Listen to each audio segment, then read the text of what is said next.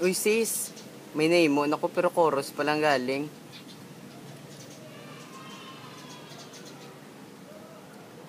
Ikaw lamang ang siyang mamahalin Ikaw lamang ang siyang iibigin Ikaw lamang at walang iba Ikaw lang naman ang tangi kong hiling Oh, ha?